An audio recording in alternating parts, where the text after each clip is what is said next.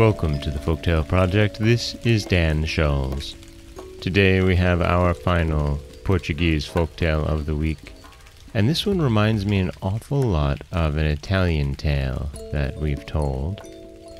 It's one that I hope that you will enjoy.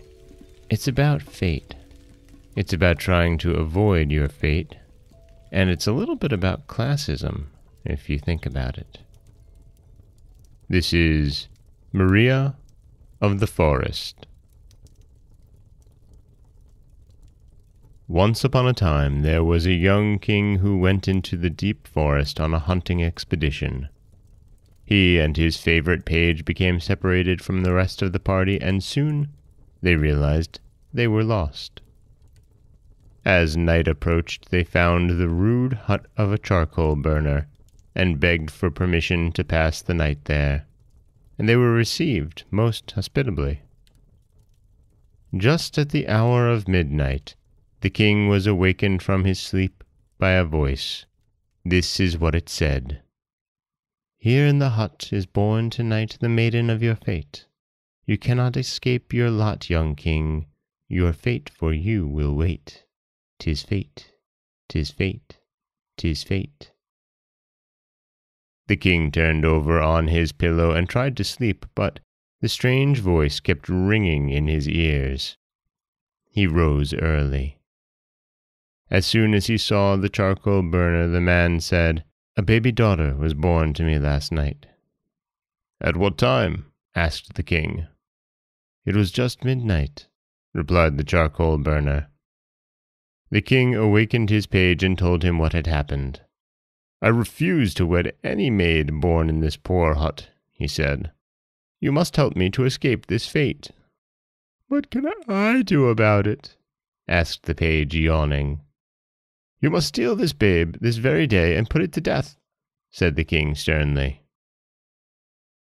The page did not dare refuse, and easily obtained possession of the baby when no one was looking. He carried her away into the deep forest, but he did not have the heart to put an innocent babe to death. He left her in a hollow tree, wrapped up in the bright red sash he wore. When he had returned to the king, he confessed that he had been too tender-hearted to slay the baby.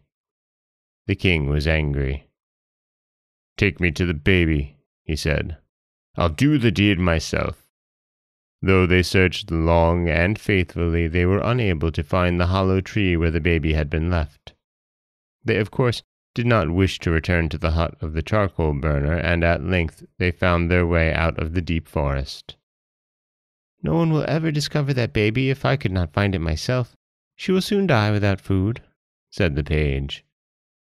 The king agreed that it was quite impossible for the babe to escape death, but he could not forget the strange voice which had said, Here in this hut is born tonight the maiden of your fate.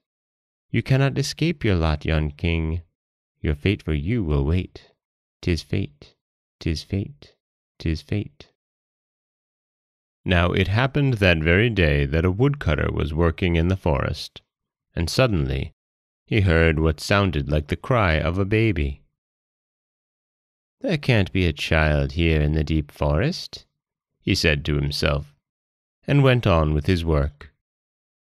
The cry continued, however, and it sounded very near, almost under the woodcutter's feet. He looked into the hollow log, and there he found a dimpled baby girl, wrapped in a bright red sash. Poor thing! Her own mother has abandoned her. My good wife will be a mother to her he said. The woodcutter's wife had no children of her own and received the baby gladly. She named her Maria of the Forest. As the days flew by and the babe thrived under her care, she could not have loved her more than had she been her own child. The weeks and months passed, and soon little Maria of the Forest had grown into a lovely little girl, five years old. Her kind foster mother made a bonnet for her out of the bright red sash which she had found wrapped about her the first time she saw her. It made Maria's dark eyes look even brighter than before. Now it happened that the king and his page were again hunting in the forest and passed by the house of the woodcutter. The page noticed the pretty little girl and the red bonnet she wore. He called her to him and examined it carefully. There can be no doubt that material is from my own red sash, he confessed to the king. The woodcutter's daughter could have such a bonnet as this in no other way. The king bade him make inquiries about the girl, and soon the page found out that the little maid was in truth the baby he had left in the hollow tree. The king ordered him again to steal her. This time the king plotted her death by drowning. He had a box made for her, put her in it, and threw her into the sea with his own hand. I refuse to wed any girl brought up in a woodcutter's hut, he raged. I'll escape that fate. Nevertheless, he could not escape the memory of the strange voice which had said, Here in this hut is born tonight the maiden of your fate. You cannot escape your lot, young king, your fate, for you will wait.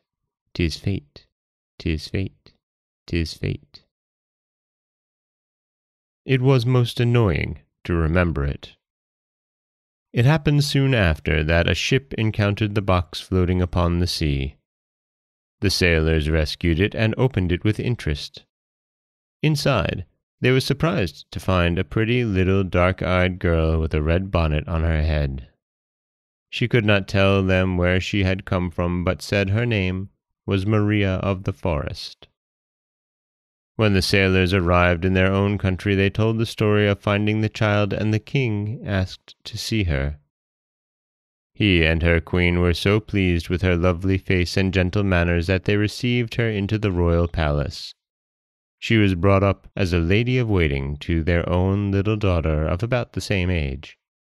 When, after a dozen years, the princess was wedded, all the kings of nearby countries were invited to the marriage feast. The king who had been lost in the forest came with the others. At the feast, there was no one more beautiful than Maria of the Forest. The king danced with her. Who is the girl? was his eager question. She has been reared in the royal palace as if she were in truth the sister of the bride, was the reply. The king fell in love with the beautiful maid and gave her a ring. The page, however, was suspicious when he heard her name. He lost no time in making inquiries about her. What he found out made him very sure that she was in truth the daughter of the charcoal burner. He reported his suspicions to the king. Never mind, said the king. I'll wed the maid anyway. One can't escape from one's fate. And that is Maria of the Forest a Portuguese folktale brought to us by Elsie Spicer Eells. And again, it's about fate.